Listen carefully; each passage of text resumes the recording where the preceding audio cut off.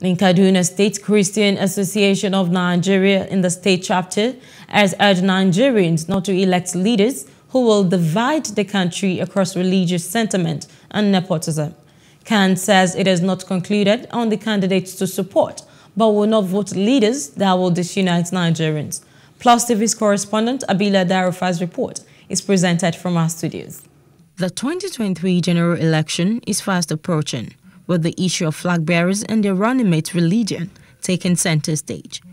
Speaking at the special praise, Kaduna State CAN chairman, who doubles as the Northern Vice Chairman, Reverend John Joseph Hayab, said Christians have already concluded not to vote for the Muslim-Muslim ticket in 2023. He said the nation is faced with inhuman activities and challenges of insecurity orchestrated by nepotism, which has led to so many issues. Every day, this group of people will come and will say they are not doing right because we never allow the process to produce the right people.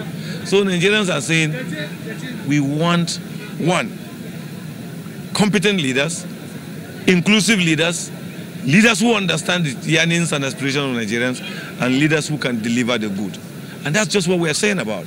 So we will refuse any leader that is not competent, even if he comes from the family of Hayab. We will refuse every leader that if he wants to use competence and then he is not loving and caring to other Nigerians because Nigeria do not belong to Christians, no does Nigeria belong to Muslims, no Nigeria belongs to Northerner, or Nigeria belongs to South. Nigeria belongs to all Nigerians. And every Nigerian must be seen or must feel that this country respects him, this country appreciates him, this country recognizes his existence. Hayab stressed the need for the people to get their PVCs and vote in the right candidates this time around. He, however, lamented money paid as ransom by families, which would have been used for development. The CAN chairman urged Christian faithful to unite to strategically fight the enemy of peace. For one faith ticket, we have said no. We have 17 options. We're going to look at theirs. None of them have even started campaign. Oh. I wonder why people are all confused. None of them have started campaign because according to INEC, campaign have not started. What we are doing now is to just sensitize our people. One, make sure do you really have the voter's card. Two, our conduct before, during, and after the election. So that's what we're going to do. And then ensure that we don't go the path of wasting vote. We're not going to waste our vote, brother. We are going to vote for two leaders in Kaduna State, two leaders in Nigeria. No wasting of vote. Those who are talking about waste of vote, Probably I misquoted or they didn't say it the way people understand. But we're not going to waste our vote.